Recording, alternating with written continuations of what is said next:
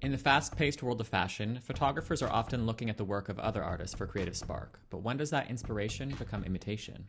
Copying the works of masters has long been a tradition in the art world, young painters honing their technical skills by replicating each stroke. But with the rise of fashion photography in the 20th century, the same reverence and credit is not always given. To start, let's look at some fashion images that explicitly pay tribute to the great artists across different genres. For Vogue's June 1999 issue, Steven Meisel uses Nicole Kidman to recreate several portraits by John Singer Sargent.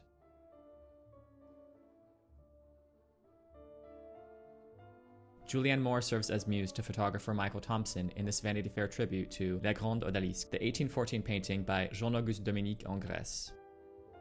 It looks like Harper's Bazaar may have gotten wind of Julianne Moore's shoot for Vanity Fair, given this painting inspired shoot for their May 2008 issue, featuring artists like Modigliani and Degas.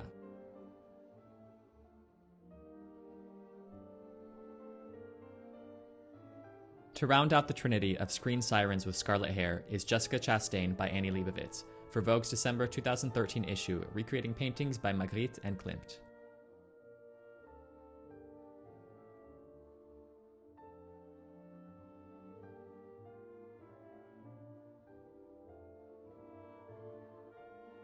In a shocking twist, daring to use non ginger actresses, Harper's Bazaar's November 2017 issue featured a diverse cast of models for their artistic recreations, with Madame X making her third appearance in this video. For photographer Tim Walker, his photographs draw inspiration from fairy tales, ancient tapestries, but with such a distinct style, his resulting images take the seat of inspiration to a new place. For the December 2008 issue of British Vogue, the inspiration was the work of Roald Dahl, writer of beloved children's books like James and the Giant Peach, The BFG, Charlie and the Chocolate Factory, and many more.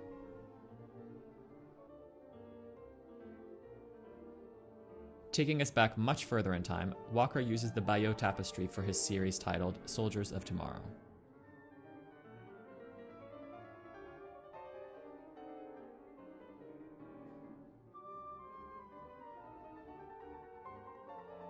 In another editorial, Walker pays tribute to the photographer Philippe Halsman's 1949 image Popcorn Nude, with his use of color enhancing the surrealist spirit. Annie Leibovitz is another photographer who draws heavily from fairy tales. Some of her most famous shoots include the December 2003 Alice in Wonderland, Natalia Vodianova on a journey through different worlds featuring fashion designers like Viktor and Rolf, Jean Paul Gaultier, Marc Jacobs, John Galliano, Stephen Jones and Christian Lacroix, and Tom Ford. Another fantasy story is her interpretation of The Wizard of Oz with Keira Knightley for Vogue's December 2005 issue.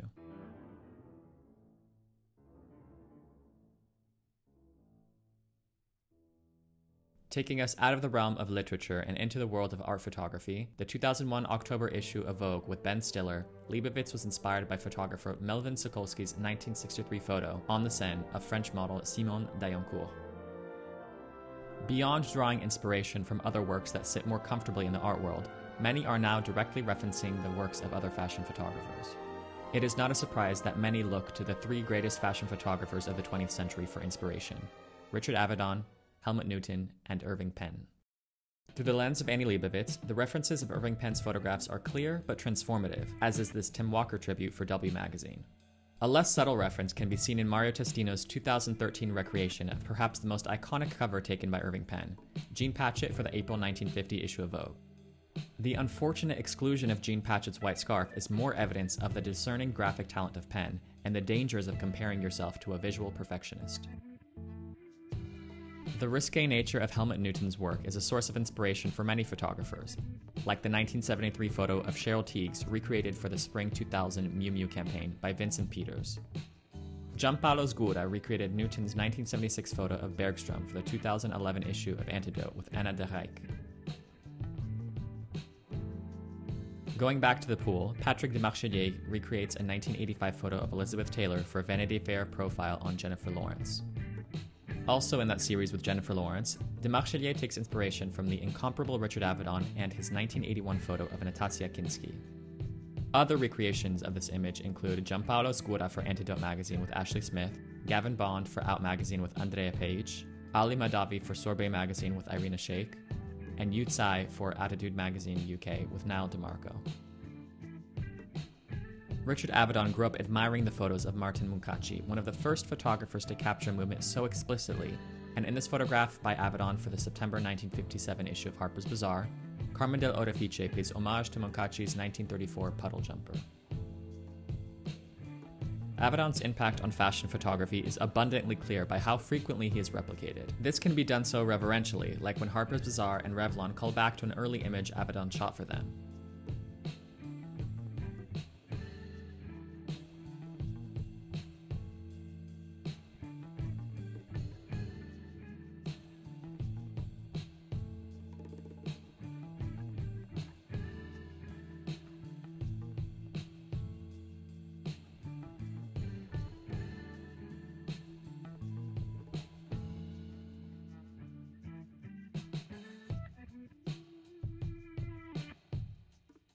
Or when Vogue commissions a photographer like the great Peter Lindbergh to shoot a story in his honor. But the line between flattery and imitation gets very blurry with Steven Meisel. Meisel, who at age 12 had his friends call modeling agencies pretending to be from Avedon Studio in order to get access to high profile models like Twiggy, he was doing Avedon while Avedon was still doing Avedon. For the 1994 CK1 fragrance campaign, Calvin Klein hired Steven Meisel to recreate Avedon's famous 1969 photo of Andy Warhol and members of the factory, instead of hiring Avedon himself. Meisel has more recently made a copy of that copy for McQueen's Spring Summer 2022 campaign, but this also happened with Versace.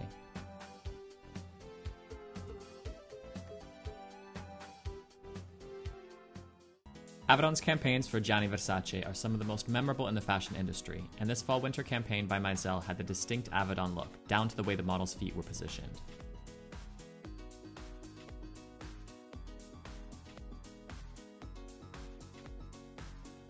Meisel later replicated this concept for a Roberto Cavalli campaign. Photographer Sebastian Kim, who was Avedon's assistant from 1996 to 2000, but then went on to assist Meisel, writes about the relationship between Avedon and Meisel in a section of Norma Stevens' book, Avedon Something Personal, expressing that Dick felt strongly that Steven had made his name by copying him. I would put it another way. Steven had studied Dick about as hard as anybody could. When asked by the New York Times about what he thought of Meisel, Avedon replied dismissively, I'm not familiar with his serious work. It is hard to deny the beauty of Meisel's work, like this cover story of Fei Fei Sun, inspired by Avedon's work with China Machado, but the editorials that are stylistically his own end up being the most memorable, like this controversial editorial for Vogue Italia called Water and Oil with Kristen McMenamy,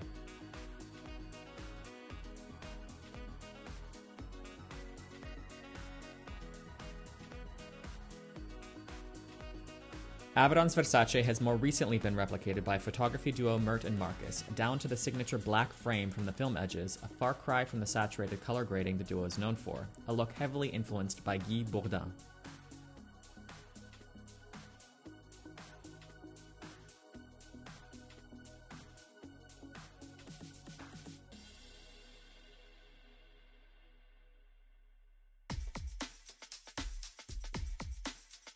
Giampaolo Sgura again turned to Avedon for creative direction in this editorial for Antidote magazine and cover for Vogue Spain. Carlota Guerrero's tribute to Avedon for the 37th issue of Metal magazine recreated this Versace Fall Winter 1994 campaign.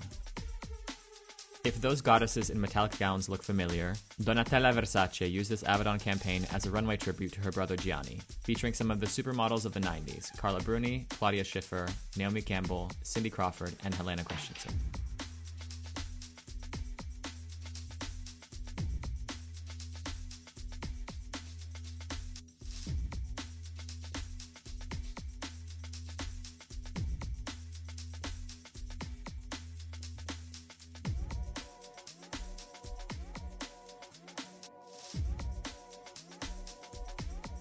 Perhaps the most offensive of these imitations is by Gavin Bond, shooting an early edition Kim Kardashian for the tabloid Radar. It is easier to argue on the side of inspiration when the source material is extremely well known, like Avedon's 1981 photograph of beekeeper Ronald Fischer. photographer Dan Winters, an amateur beekeeper himself, pays tribute to Avedon for the UNESCO Guerlain Bee Conservation Program featuring Angelina Jolie. The team even managed to track down the same entomologist from the Avedon shoot, using the exact jar of queen pheromone on Angelina Jolie as Ronald Fischer.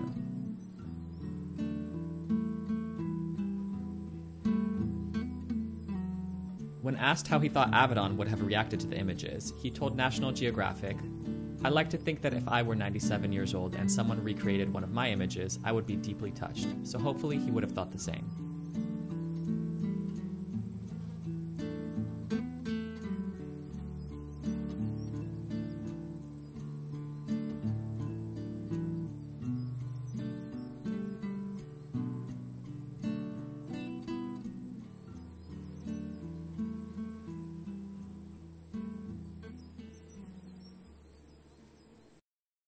Beyond the three main photographers most often imitated, disgraced photographer Terry Richardson built a career passing off concepts created by photographers from the 1970s, like Guy Bourdin and David Bailey, as can be seen in these images he shot for Jimmy Choo and Aldo. When it comes to contemporaries drawing from each other, the ethics get more muddled.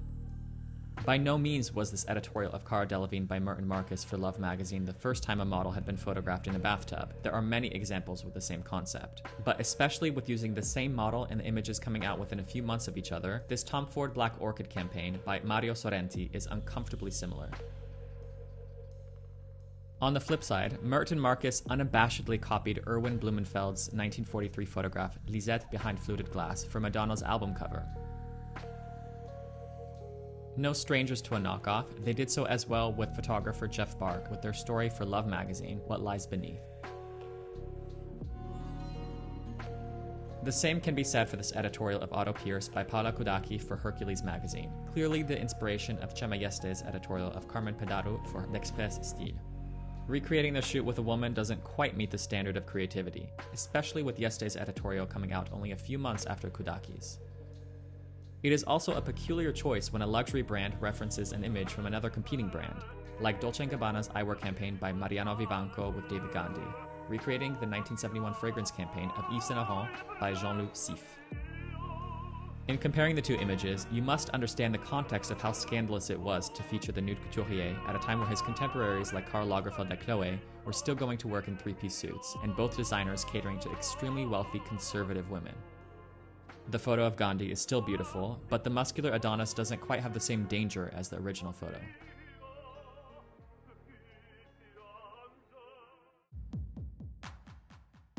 When it comes to the debate of inspiration versus imitation, we would be remiss if we did not feature the rephotographer himself, Tyler Shields.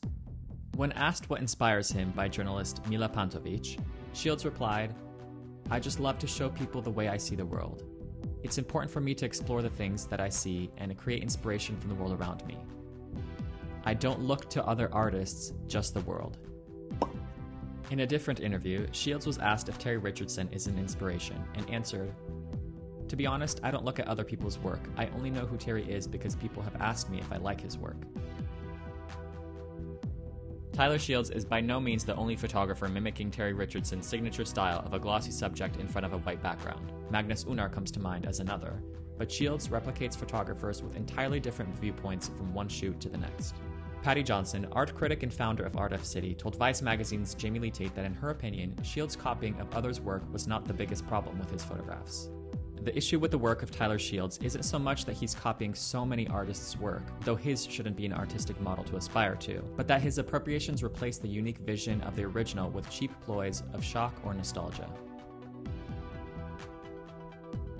Take the Sally Mann ripoff. You never forget the original for the child's defiant gaze while holding a cigarette. She's not an adult, but she's at the stage where you begin to see who she will become emerge. And in that photo, it seems almost a little too early. With Shields's, there's no authenticity to the photograph. It's staged from beginning to end, so what you get is a child striking a pose with two women in the background gazing sexily at the camera. Are they what she is to become, or are they just ornaments for the photo? Either way, Shields takes what began as an incredibly haunting photograph and turns it into an art postcard. I can't think of a dumber, more offensive interpretation of the original piece.